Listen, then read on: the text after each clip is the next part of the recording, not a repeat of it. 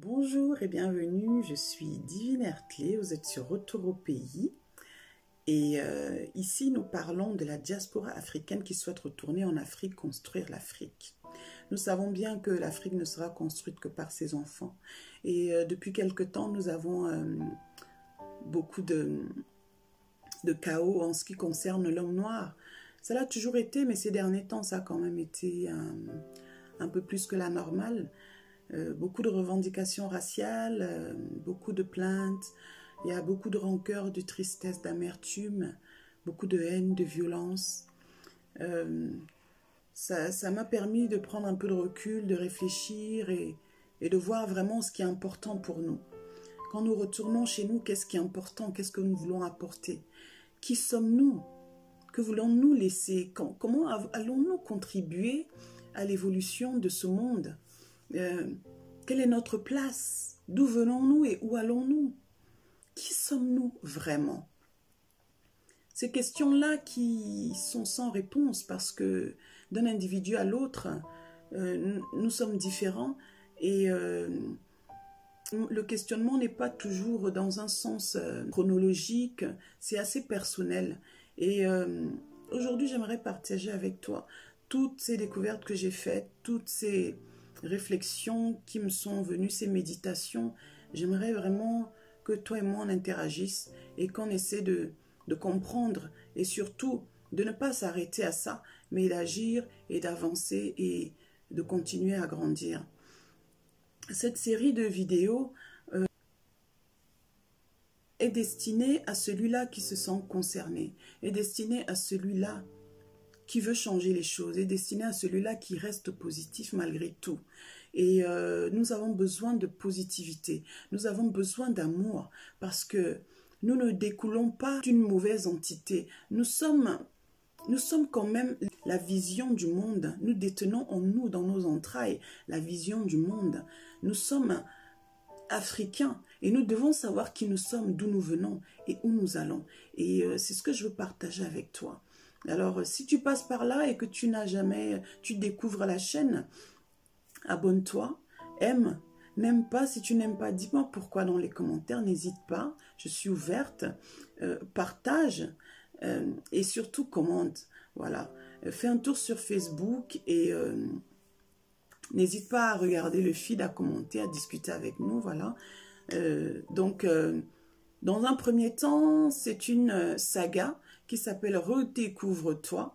Et euh, j'aimerais euh, nous resituer, j'aimerais situer l'Africain, situer cet être qu'il est, cet homme qu'il est, situer son espèce, situer euh, sa personne, son existentiel, et lui faire voir tout l'avenir qu'il a devant lui.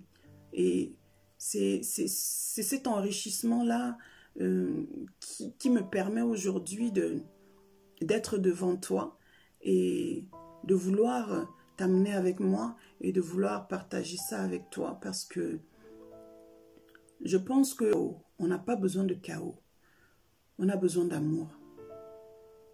Et je veux te faire comprendre à quel point tu es amour. Je veux te faire comprendre d'où tu viens et où tu vas et qui tu es surtout. Alors suis-moi et euh, surtout suis les vidéos jusqu'à la fin. Le destin de l'Afrique repose entre tes mains. C'est parti.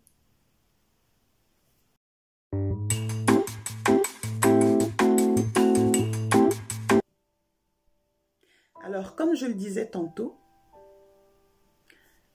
je veux resituer l'Africain, je veux resituer son espèce.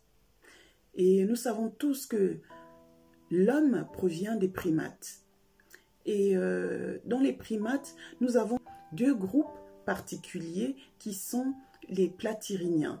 Les platyriniens, euh, dont l'étymologie veut dire euh, en grec platus, qui veut dire large, et rhino, qui veut dire nez.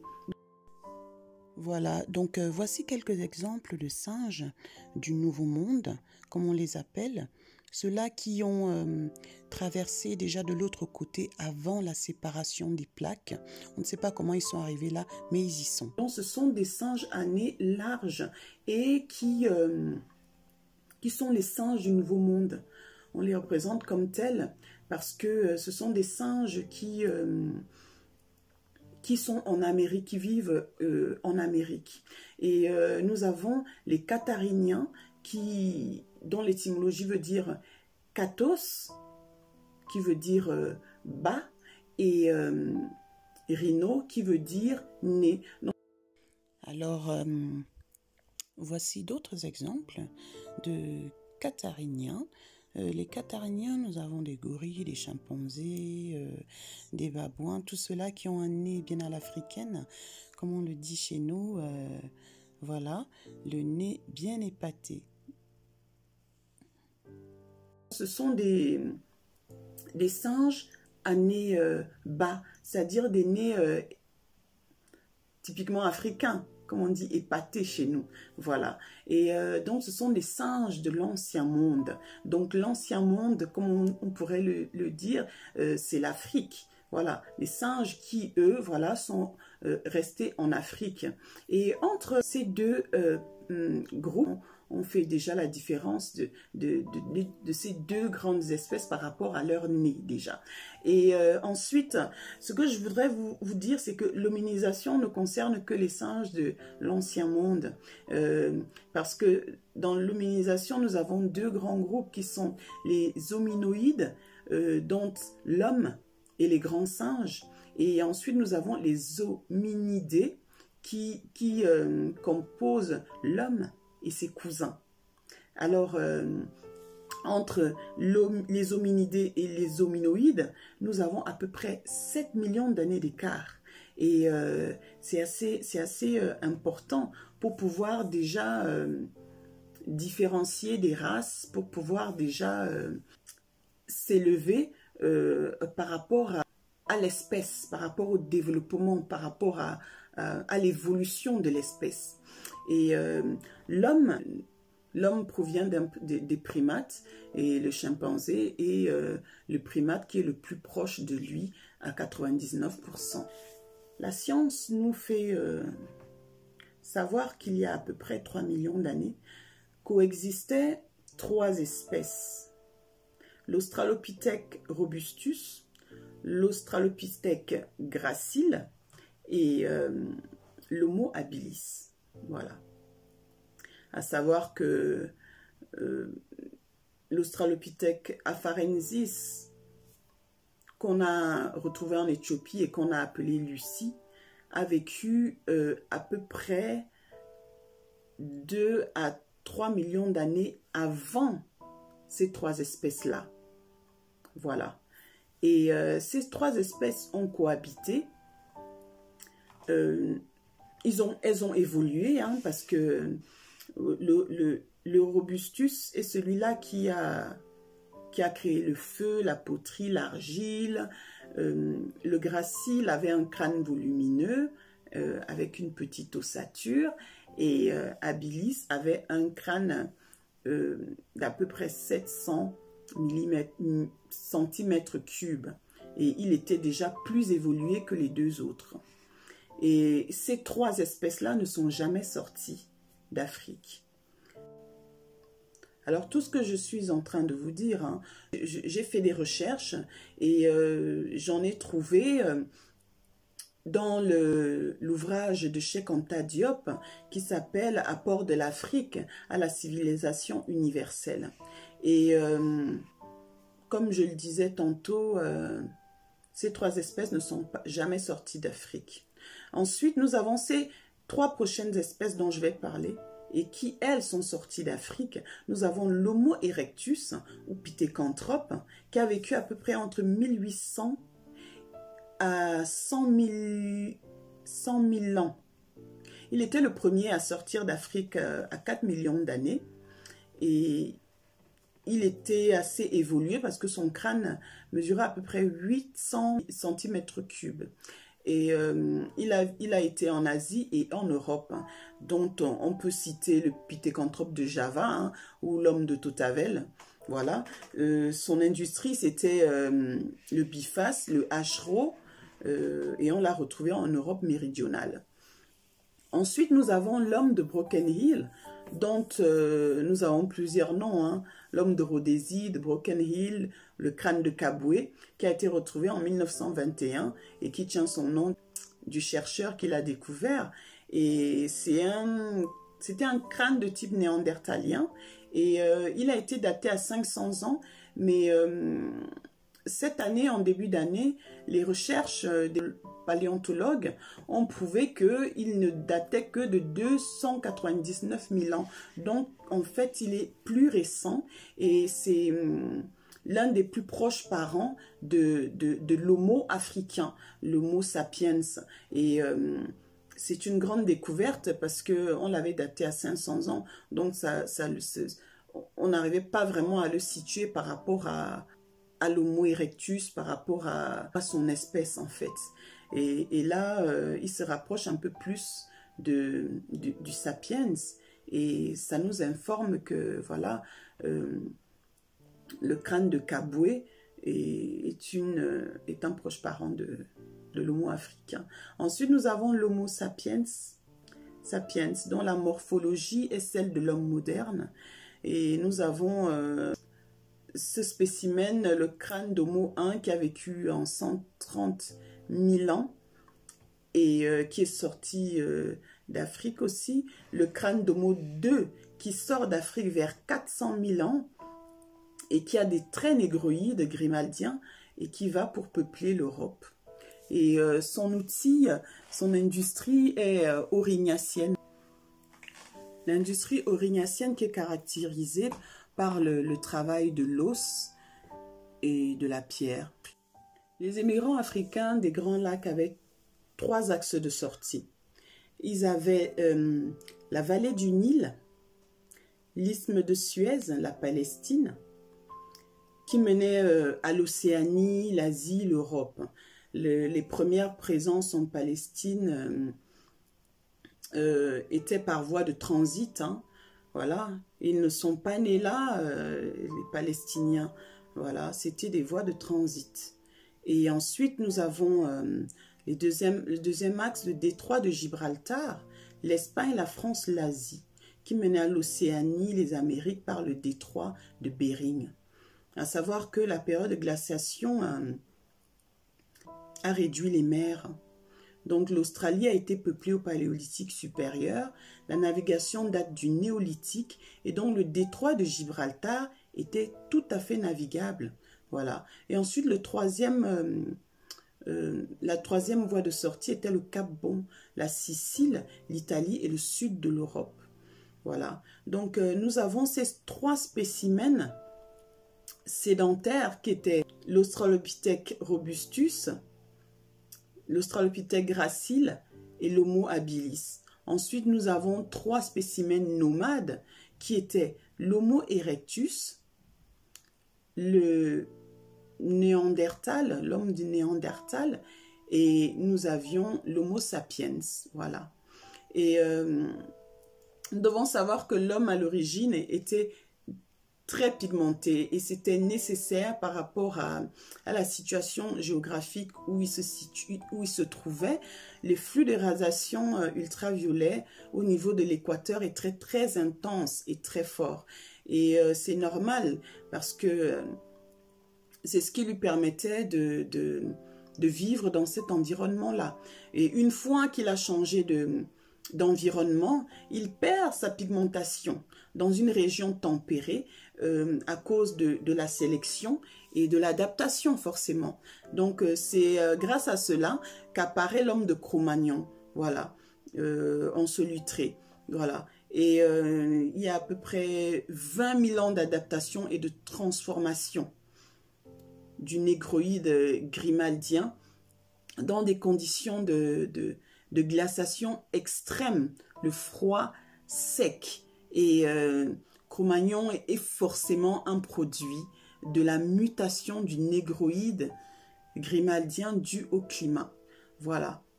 Ce que je voulais vous faire comprendre par rapport à tout ce que j'ai dit, c'est assez scientifique, je ne suis pas scientifique, j'ai essayé de, de résumer cela du mieux que j'ai pu, mais ce que je voulais vous faire comprendre, c'est que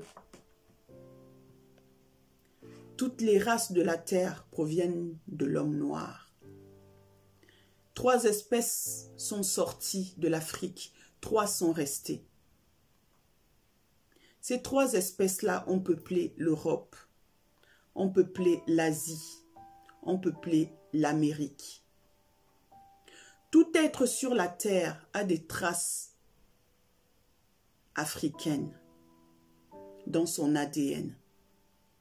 Personne, aucun être humain sur cette terre n'existe de lui-même.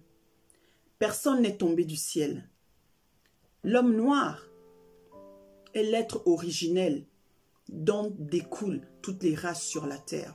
Alors prenons conscience et faisons les choses comme elles doivent être faites. Prenons conscience de qui nous sommes. C'est par nous que la terre a été peuplée. Prenons conscience de qui nous sommes, d'où nous venons. Prenons conscience vraiment de qui nous sommes. Posons-nous les bonnes questions. Méditons, cherchons les réponses à ces questions. Parce que nous avons la solution en nous. La solution de ce monde réside en nous. Et euh, c'est ce que je voulais t'apporter aujourd'hui. Attends-toi à la deuxième vidéo qui sera très intéressante. Parce que une fois que tu réaliseras qui tu es, alors l'avenir n'aura plus de surprise pour toi. Je suis Divine Ertley, de retour au pays, et euh, le destin de l'Afrique réside entre tes mains.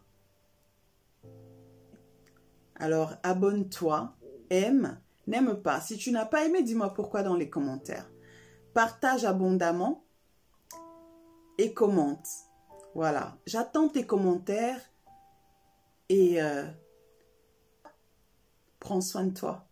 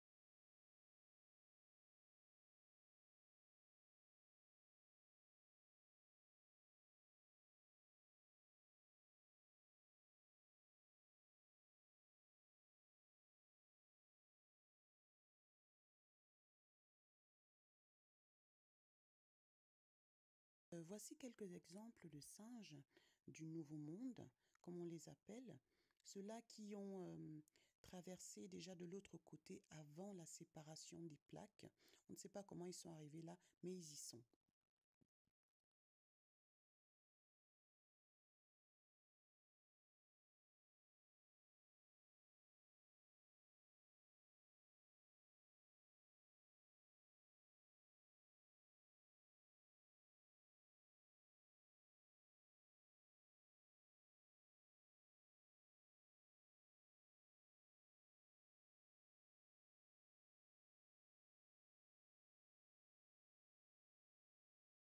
Alors ici, nous avons les Cathariniens, euh, ceux-là dont euh, les nez sont bas, euh, ceux-là qui sont restés en Afrique sur la terre-mère, ceux-là dont dépend l'hominisation et les cousins de, l'homme.